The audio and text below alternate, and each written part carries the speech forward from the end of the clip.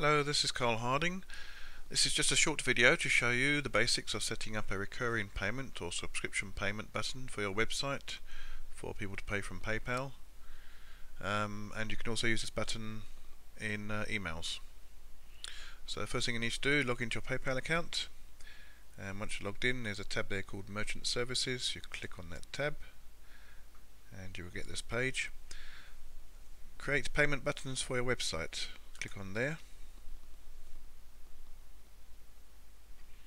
Scroll down a little bit and you've got a button there that says create button now. This is just the basics so I'm going to skip the optional parts such as that one there.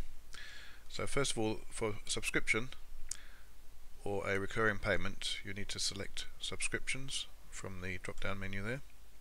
Give the item a name. Okay, you can call it whatever you like. Um, select your currency in there. You can customize the button in several ways, but this is all optional, so I'll leave you to read up on that. Um, this video is mainly just to create a basic button to get people started. Um, so you've got the billing amount in here, so whatever that's going to cost.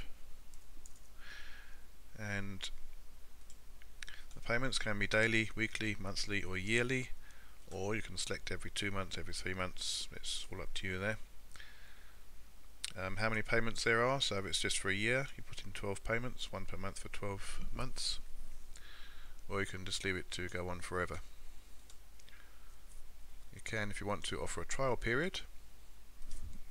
One pound for the first month, for example, or free for the first month.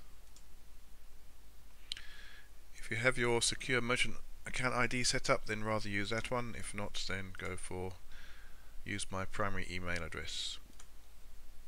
These last two steps you don't need to worry about too much. Um, this one says save button at PayPal, which is a good idea. That is a default option, so leave it as that.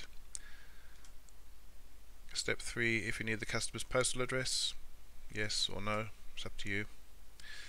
You can put a, um, a link in here. If the customer clicks on your PayPal button and then they don't pay, um, PayPal will send them to whichever link you put in here. And you can also put a link in here when they've paid you, they get sent to whichever link you put in there. But if you're using the payment via email, then you may have other ways of, which you're doing it. So that's all up to you. Don't worry about this one. Now click on Create button. Now here you have two options. You've got website option and email option. Now for the website option you need to select all of that text in that box and copy it. and you'll paste that into your HTML editing program which I'll show you in a moment. Now for email, the simplest way to do it in an email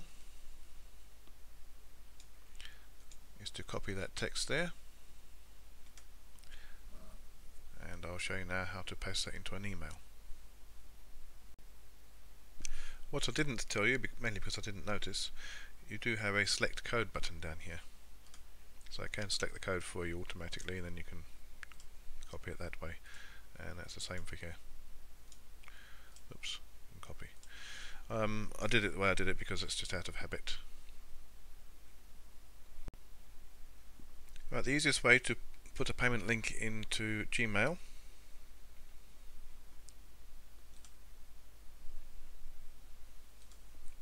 so put in, uh, put in some text here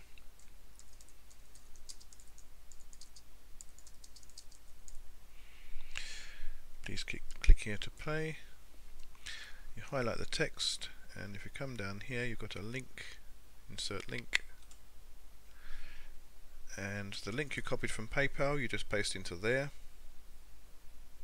say OK and that's it, you're ready to go. You can just type in some extra text up there and whatever you want to do. I don't know why that's underlined. There shouldn't be a link. There you go and off you go. And your customer will click on that link, it will take them to the payment page on PayPal, and there you go, simple as that. Later on you may want to add another button to your to another email or to another website. All you need to do is log into PayPal, click on Merchant Services, you'll get this screen here. On the right hand side here you've got quick links, My Saved Payment buttons. So click on My Saved Payment buttons. And there's the buttons I've created. You click on the little drop down menu there, you can edit the button, you can view the code. You need to view the code if you just want to copy the code to another email. Create another one that's similar, or you can delete it. This is also a place where you can create a new button if you wish.